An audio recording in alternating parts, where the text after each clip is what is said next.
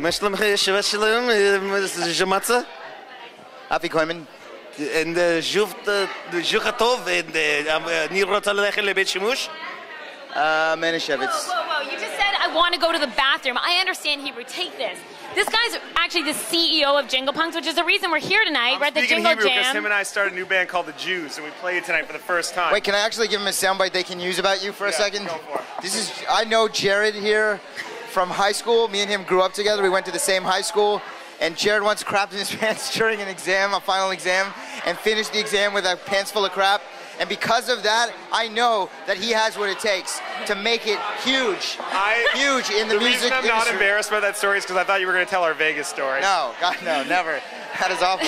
But Jingle So- Punks is a great service, and I use it because I do music, and Jingle Punks gets me paid, and I like getting paid. It's like cash for gold, except with music. That is like that's amazing that you just said that. I send music in an envelope, and then Jared sends Throw me your money. old music in an envelope, and we'll give You you guys back banter cash. well together.